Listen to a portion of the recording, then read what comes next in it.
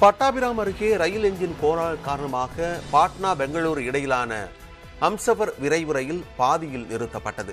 பாட்னாவில் இருந்து சென்னை வந்து அங்கிருந்து பெங்களூரு செல்லக்கூடிய அம்சபர் விரைவு ரயில் பெங்களூரு நோக்கி சென்று கொண்டிருந்தது. பட்டாபிராம் நெமிலிச்சேரி இடையே ரயில் சென்றபோது அதன் என்ஜினில் திடீரென பழுது ஏற்பட்டது.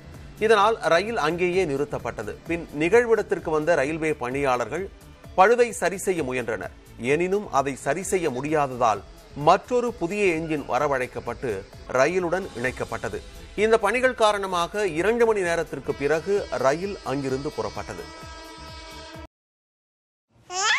குழந்தை நல்லா ஹெல்த்தியா இருக்கான் சுகன்யா.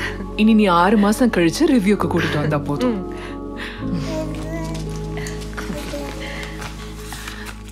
இருமா கேக்குறமா.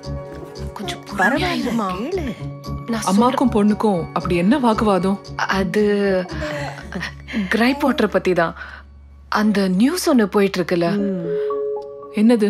அதான் அந்த ஆன்லைன் நியூஸ் ஒன்னு போயிட்டு இருக்குல்ல ஓ அதா?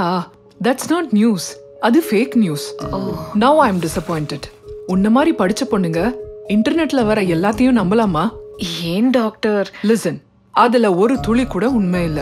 ஒரு மருந்தா? கிரைப் வாட்டரை உலகம் முழுக்க இருக்க தாய்மார்கள் ஒன் செவன்டி இயர்ஸ்க்கும் மேல யூஸ் பண்ணிட்டு இருக்காங்க என்னது 70 years. உலகம் முழுக்கவா? ஆமா.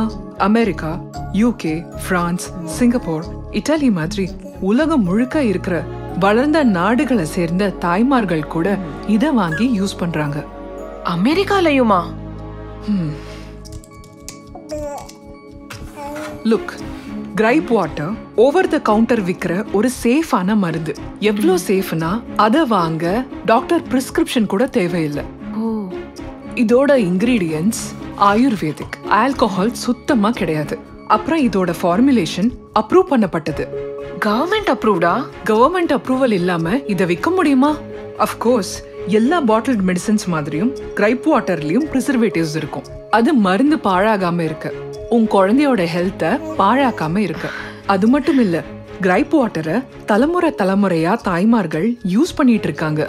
எல்லா குழந்தையும் பர்ஃபெக்ட்லி ஹெல்த்தியா வளர்ந்திருக்காங்க. கேட்டியா? கன்வின்ஸ் ஆனியா? நான் சொன்னேன்ல.